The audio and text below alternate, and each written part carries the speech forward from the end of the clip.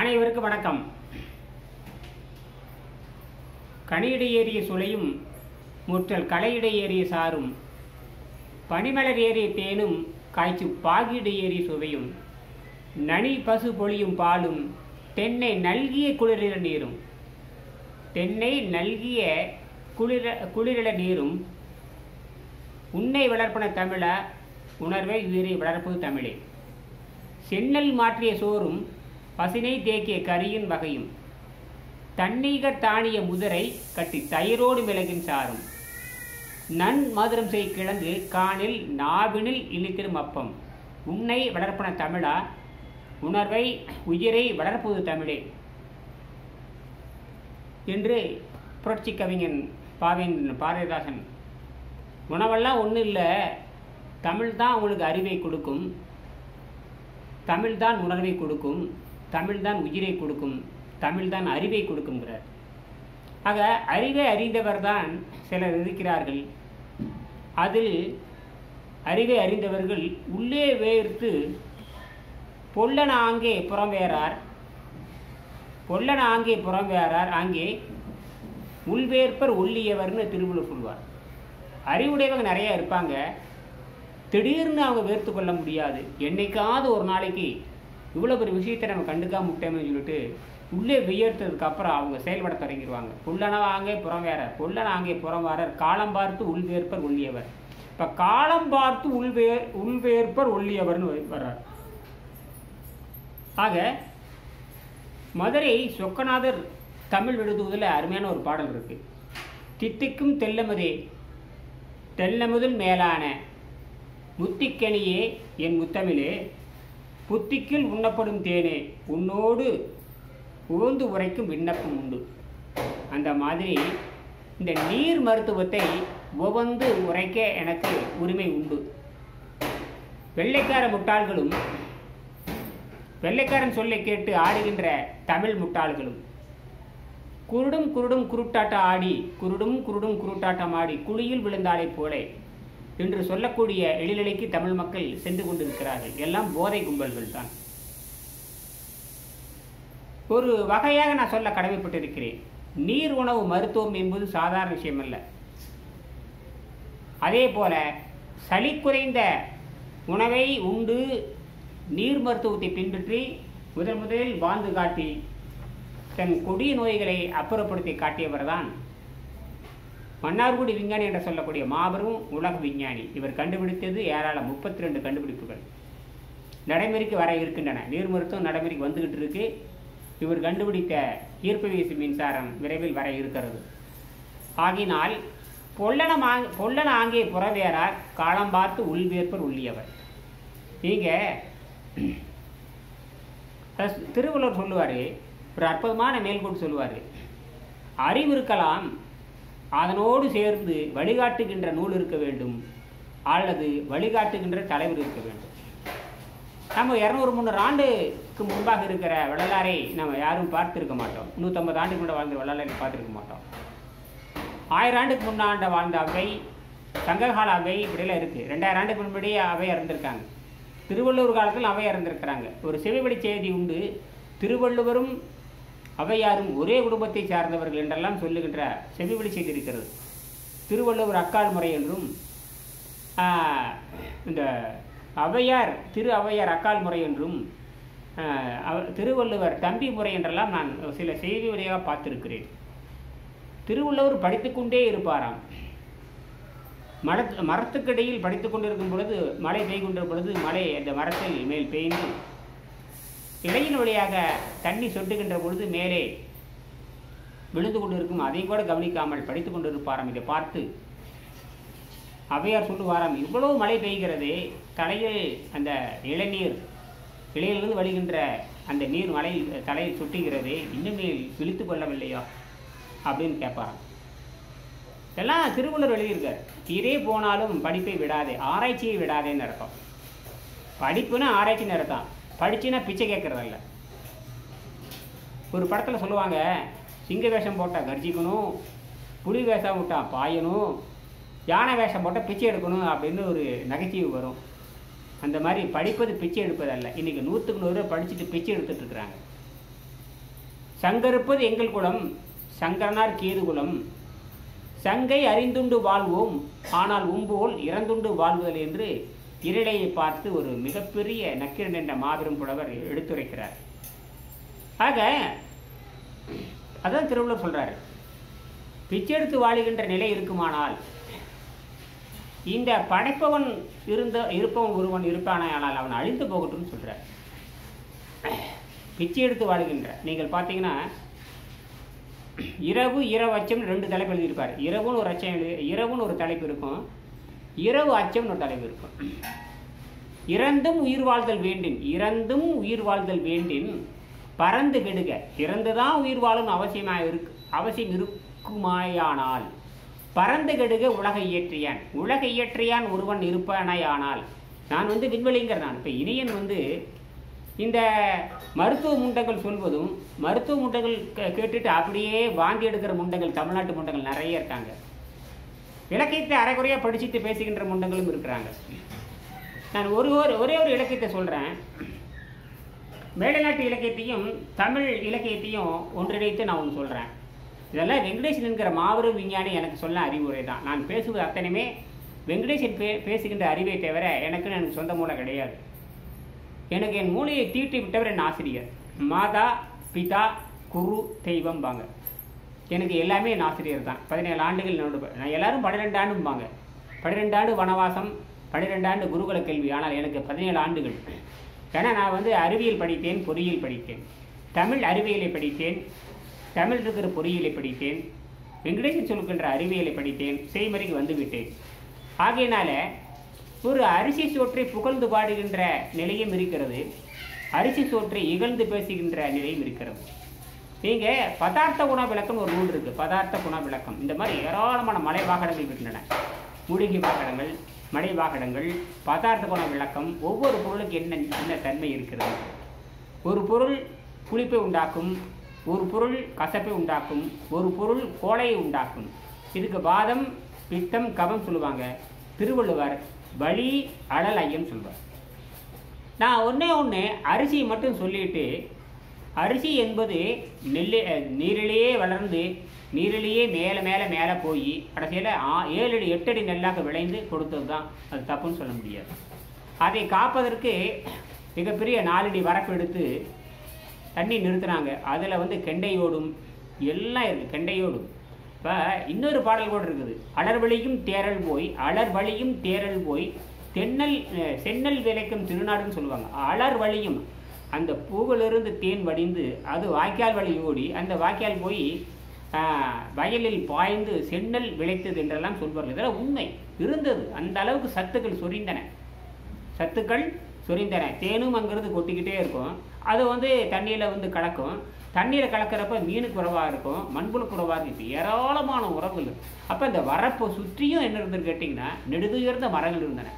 இந்த நெடுதுகுர்ந்த மரங்கள் விழுகிற த- அந்த தலையானது மடிந்து மடிந்து மடிந்து மடிந்து மடிந்து இருபத்தேழு மணி நேரம் நொதித்தல் ஏற்பட்டு அந்த தண்ணிக்கு வளம் சேர்த்துக்கிட்டே இருக்கும். அப்போ இந்த மணிநீர் பெய்கின்ற பொழுது அப்படியே குளம் மாதிரி கட்டி நிற்கும். அது அஞ்சடி ஆறடி நிற்கும். அதுக்கு மேலே தாமரை நிற்கும். புரியுதுங்களா? இதைத்தான் கண்டுபிடிச்சார்கள் தமிழர்கள். இதைத்தான் தமிழர் வேளாண்மை என்று மிகப்பெரிய புரட்சி செய்து- செய்து கொண்டிருக்கிறார். தரங்கம்பாடியைச் சேர்ந்த நரசிங்க ரத்தத்தை சேர்ந்தவர். சரங்கம்பாடியை சேர்ந்தவர் நரசிங்க ரத்த நரசிங்க ரத்தம் என்று சொல்லக்கூடிய அந்த பகுதியிலிருந்து புரட்சி செய்து கொண்டிருக்கிறார் தமிழர் வேளாண்மை என்று சொல்லக்கூடியது. புரட்சி செய்கிறார். ரெண்டாயிரம் ஆண்டுகளுக்கு முன்பாக செய்திகள் ஆய்வு செய்து திரு ஔவையாரையும் திருவள்ளுவரையும் திருமுலரையும் ஆய்வு செய்து உலக மக்களுக்கு தந்து கொண்டிருக்கிறார்கள். அவர்கள் சொல்வதை நாம் கேட்க வேண்டும் செவிசாய்க்க வேண்டும். கடைசி திருப்பம் எந்த வகையான உறவும் தேவையில்லை. எந்த வகையான உழைப்பும் தேவையில்லை. இயற்கை சட்டத்தை புரிந்து கொண்டு அந்த இயற்கை சட்டத்தை கொஞ்சம் திருப்பி அமைச்சிட்டோம்னா இயற்கை நமக்கு நண்பனாக மாறிவிடுகிறது.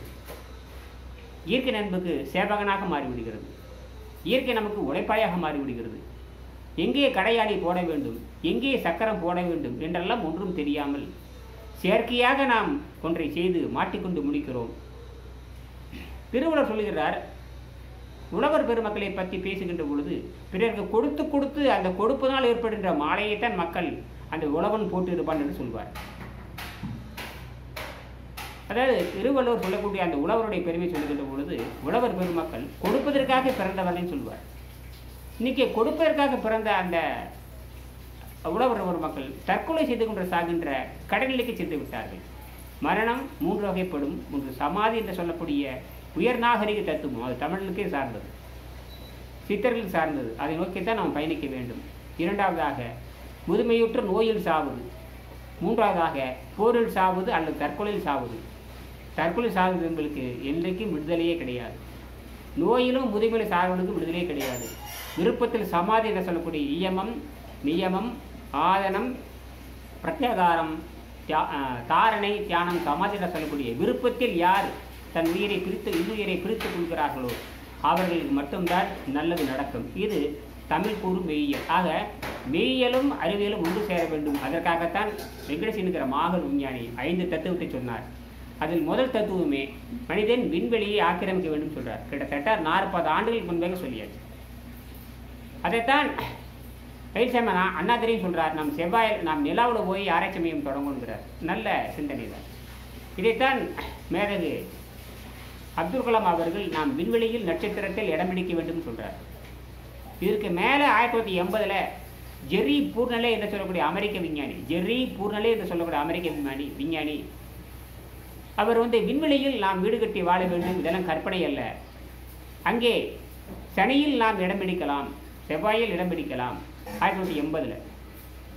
அவருடைய கற்பனைகளைத்தான் அமெரிக்காவில் இருக்கிற திரைப்பட புகழ் வாய்ந்த திரைப்பட திரைப்பட துறை துறையினர் அவர் கருத்துக்களை எல்லாம் விண்வெளி படங்களாக கொண்டு வந்து விண்வெளியில் போர் செய்வது விண்வெளியில் குடியிருப்பதெல்லாம் கொண்டு வந்தார்கள் என்று உலக புகழ்பெற்ற உலக புகழ்பெற்ற படங்கள்லாம் வந்து கொண்டிருக்கின்றன விண்வெளியை பற்றி. கிராவிட்டிங்கிற ஒரு படம் கூட வந்திருக்கு. எல்லாம் அதனுடைய தொடக்கம் தான். ஆக அவர் சொல்லுகிறார் நான் பிறக்கும் பொழுது நான் மட்டும் பிறக்கவில்லை நான் பூமியில் பிறந்தேன். சூரியனை சுற்றி ஒன்பது கோளோடு பிறந்தேன். அதுக்கு ஏறத்தாழ முப்பத்தி ரெண்டு எல்லா சில கோள்களுக்கெல்லாம் துணைக்கோள்கள் இருக்கின்றன. அதில் முப்பத்தி ரெண்டு துணைக்கோள்கள் இருக்கின்றன. இப்படியெல்லாம் சொல்லிட்டே போவார். குறுங்கோள்கள் இருக்கின்றன சொல்லுவார். இதைத்தான் திருவள்ளுவர் கூட அதாவது நிலமென்று அசைய இருப்பொறை காணும் நிலமில்லும் நல்லால் நகும்பர். நிலமிலும் நல்லா இலை இல்லைன்னு சொல்லாதீங்கப்பா.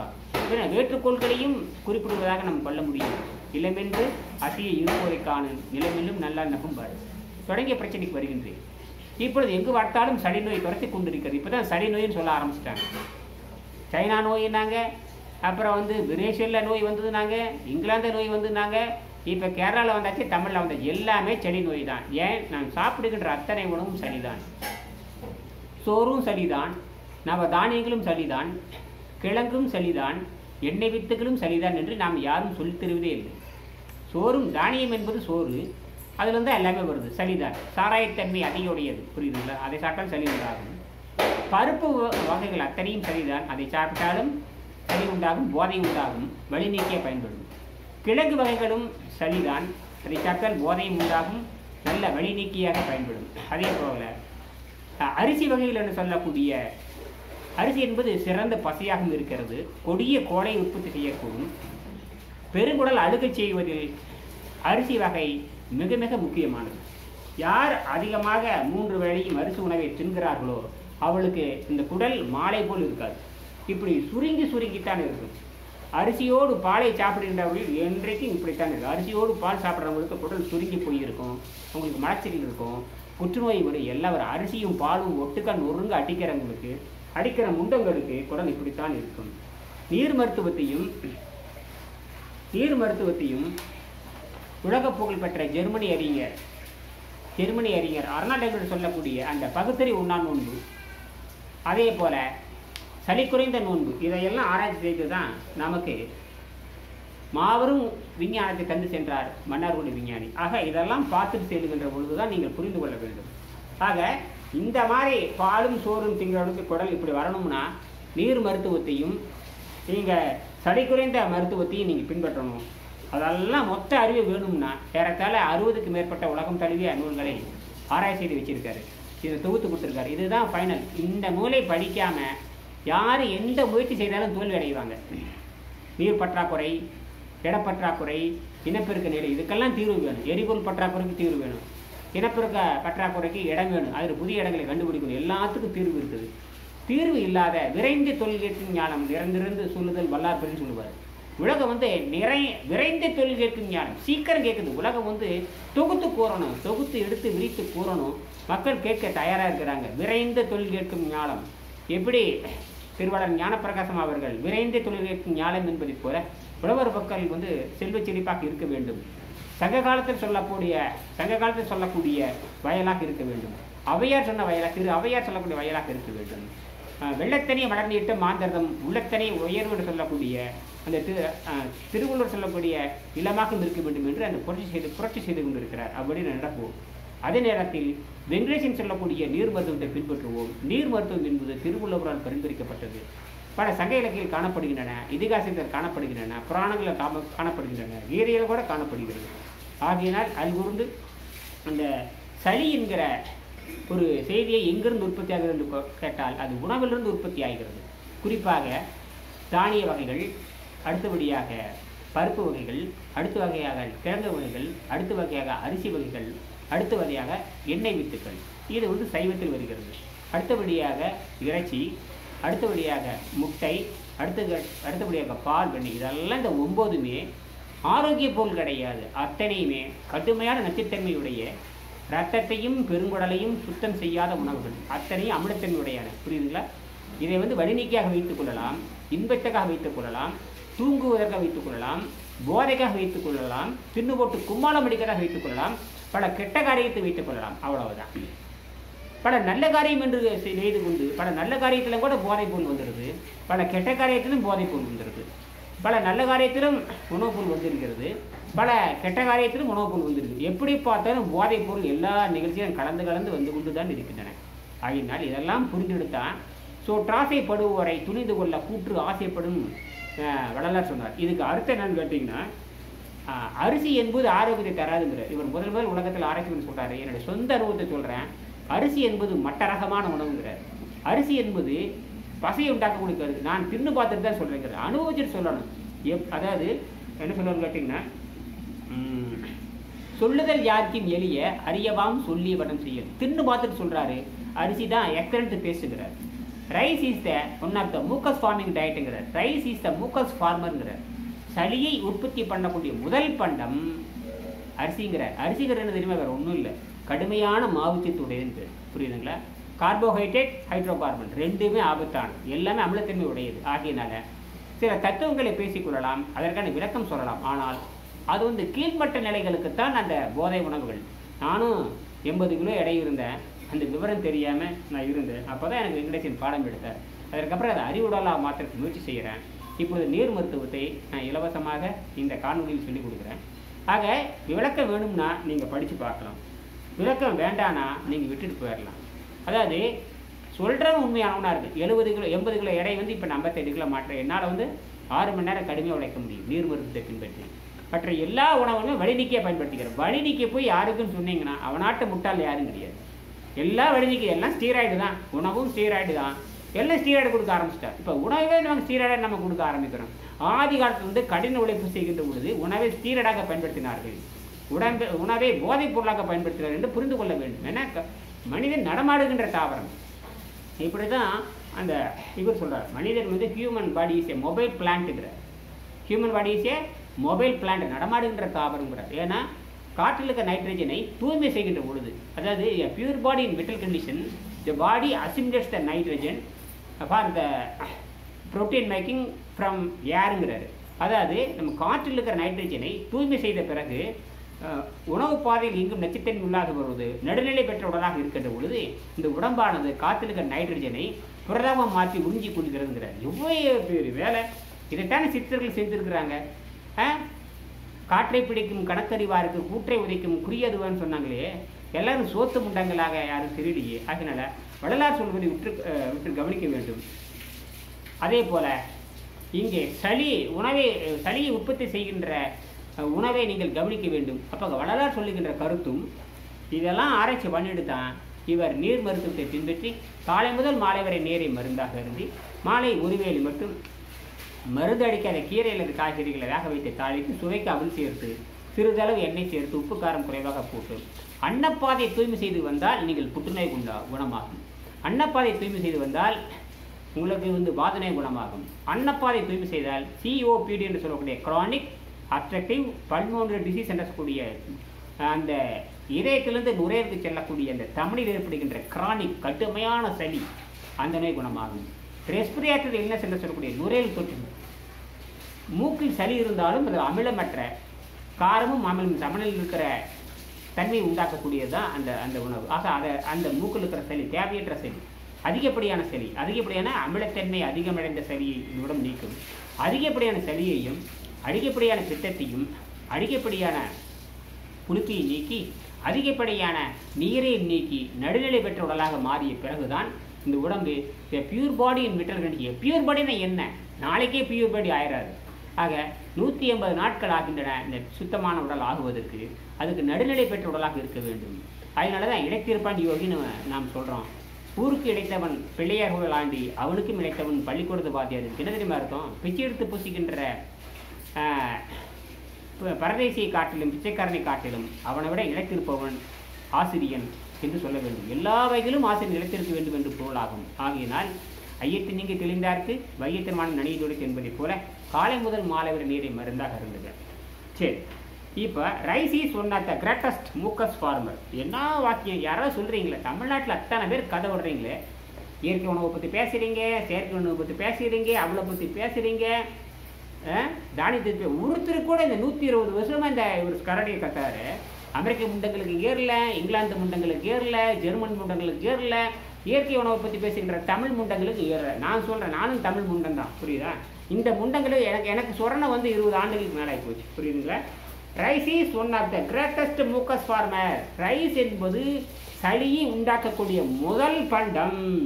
Rice is one of the greatest mucus former and makes and excellent paste சிறந்த பசையை உருவாக்கக்கூடிய இன்னைக்கு சோத்து பசைம்பாங்க. அந்த காலத்து நாங்கள்லாம் வந்து புத்தகத்தை நோட்டில் ஒட்டுறதுக்கு சோத்து பசை சோத்தை போட்டு உடனே ஒட்டிட்டு இருப்போம். புரியுதுங்களா?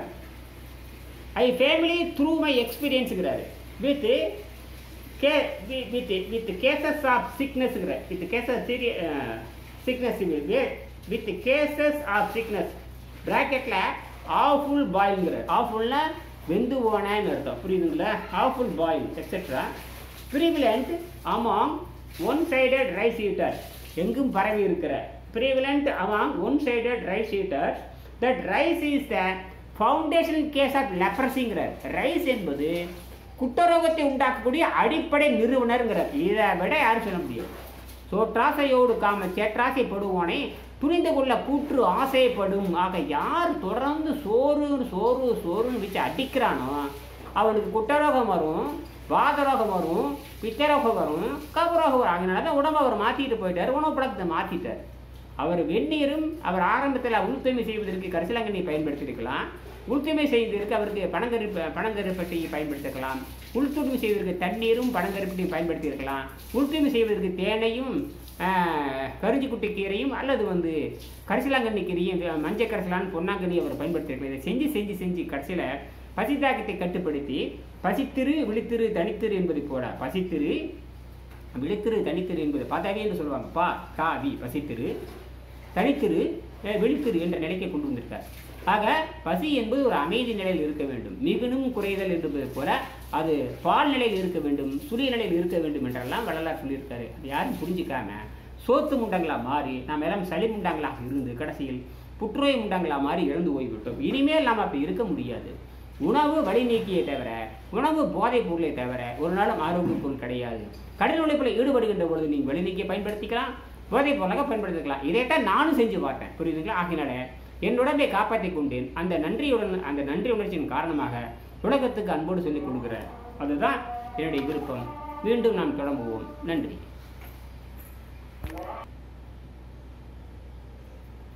ஆ, நிறைவு செய்கின்றேன். மதுரை சொக்கநாதர் தமிழ் விடுவதை சொல்லி நிறைவு செய்கிறேன். தித்திக்கும் தெல்லுமுதாய் தெல்லமுதில் மேலான முத்திக்கனியே என் முத்தமிழே புத்திக்குள் உண்ணப்படும் தேனே உன்னோடு உவந்து உரைக்கும் விண்ணப்பம் ஒன்று உண்டு. ஆக தமிழ் மக்களுக்கு விண்ணப்பம் செய்து கொண்டிருக்கிறேன். காலை முதல் மாலை வரை நேரை மருந்தாக இருந்தலாம். உங்களை சுற்றி நல்ல காற்றோட்டம் இருக்க வேண்டும். உங்களை சுற்றி குறைஞ்சபட்சம் ஒரு ஐம்பது அடியாவது விளக்க இழக்க வேண்டும். இடைவெளி இருக்க வேண்டும். இடைவெளி இருந்தால்தான் ஆற்றல் கிடைக்கும். காற்றோட்டம் இருக்க வேண்டும். நல்ல இதமான சூரிய வெளிச்சம் படுற மாதிரி இருக்கணும். இதெல்லாம் இருந்துட்டு நீங்கள் தூய்மையான ஆற்று நீரை தூய்மையான மழை நீரை அடிப்படையாக வைத்துக்கொண்டு அல்லது இல்லைன்னா ஆர்வ வாட்டர்னு சொல்லப்படுவாங்க. ரிவர்ஸ் ஆஸ்மோசிஸ் வாட்டர்னு சொல்லக்கூடிய அந்த ஆர்வ வாட்டரை வைத்துக்கொண்டு கருப்பட்டி மருந்தாக அருந்தி மாலையில் உங்களுக்கு பிடித்தமான மருந்து எடுக்காத வேக வைத்த கீரை அல்லது காய்கறிகளை மலச்சிக்கல் நீங்குவதற்கு வலி நிவாரணியாகவும் சுவைப்பொருளாகவும் சாப்பிட்டு அன்னப்பாதை தூய்மை செய்து நூற்றி எண்பது நாளுக்குள் நடுநிலையுடன் பெற்று சரியற்றதாக மாறி நடுநிலை பெற்ற உடலாக மாறும். பிறகு உங்கள் உணவு மிகப்பெரிய அற்புதமான கோயிலாக மாறிவிடும். நன்றி வணக்கம்.